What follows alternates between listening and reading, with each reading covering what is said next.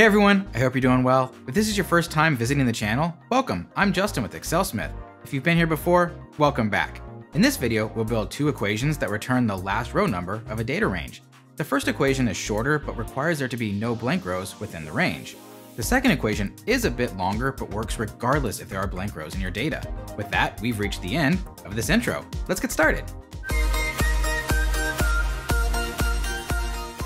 Our simple dataset consists of two number ranges in columns A and B. Column A contains a continuous set of numbers from 1 through 10. The dataset in column B contains a range of numbers from 1 through 10, but with several numbers missing. In cell E2, let's build the first equation which utilizes the match function. To start, type an equal sign, the function name match, and then an open parentheses. The first parameter of match is the value we search for in the second parameter. Normally, this is some value from a range. For example, the number 4 in the range A2 through A11.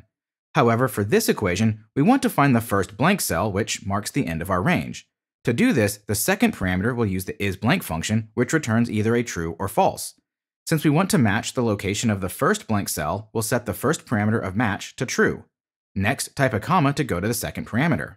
This is where we'll enter the isBlank function. Type isBlank followed by an open parentheses.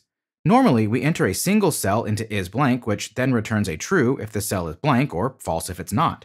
In our example, we're going to pass in all of column A, which will give an array of trues and falses.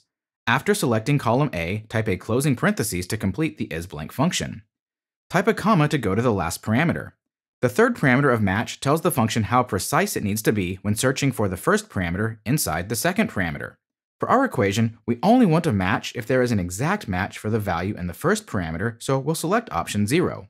Lastly, type a closing parentheses and press enter. The equation returns 12, which is the first row after our dataset. If this is what you need, you're good to go. For our use case, we wanted to get the row number for the last row of data.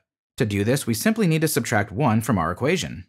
Select cell E2, then place the cursor at the end of the equation and then type a minus sign followed by the number 1, and then press enter. The equation now correctly returns 11, which corresponds to the last row of data in column A. The equation we built with match and isBlank works great when the data is continuous, like in column A. However, it doesn't hold up so well when there's breaks in the data, like in column B. To see this, copy the equation to cell F2 by dragging the lower right-hand corner. Unlike in cell E2, the result when checking column B is the number 3. This happens because the match equation returns the first blank cell, which in column B is in row 4. Subtracting 1 gives us the last row number before the blank. There could be a use for needing to find where blanks are in a data range. However, the goal for this video is to build an equation that finds the last row number of a range regardless if there are blank cells in the range or not. If you're getting value from this video, let us know by pressing the subscribe button. While you're at it, give that like button a press too. It's greatly appreciated and helps the channel grow. The match function is great if we know the range doesn't contain any blanks. To solve for the scenario where the range does contain blanks or might contain blanks, we can build an equation with the max function. This equation will find the last non-blank cell in a range and return the row number. Start by selecting cell E3.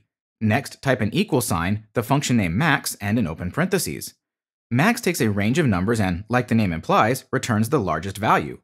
We can use this to return the last or largest row number containing data by passing in a range of all of the row numbers and seeing which ones are not blank. Type row followed by an open parentheses. To make sure we capture all of the data, we'll select all of column A. This is all we need for the row function, so we can type a closing parentheses. As is, this equation would simply return the last row number in column A. Neat, but not very useful. What we want is the last row of our data, or in other words, the last non-blank cell. We can accomplish this by combining the not and isBlank functions. We need to return the row numbers for all of the cells containing a value. This means we need to multiply the row function by the not and isBlank equation. Go ahead and type an asterisk followed by the function not and an open parentheses. Next, type isBlank followed by an open parentheses. For the isBlank function, we need to pass in the same range that we passed into the row function, which was all of column A. All that's left is to enter a few closing parentheses and press enter. Like with the match equation, we get the number 11, which corresponds to the last row of data in column A. This works because the not and isBlank portion returns a true for the range A1 through A11 since those cells are not blank. It returns false for all of the cells beginning with cell A12 as these cells are blank. The row portion simply returns the row number for each row in column A. When we multiply trues and falses, the trues become 1s and the falses become zeros.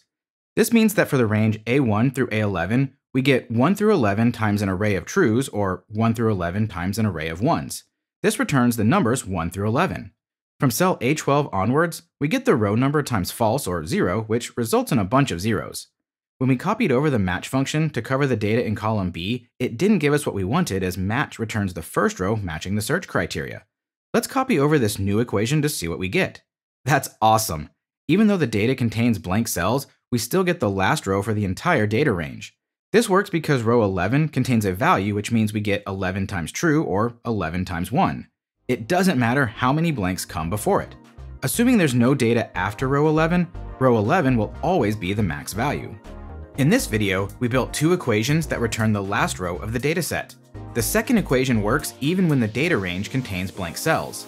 Sometimes we need to delete blank rows within a dataset. Check out this video to see a quick and easy way to do just that. Thanks for watching, and we'll see you in the next one.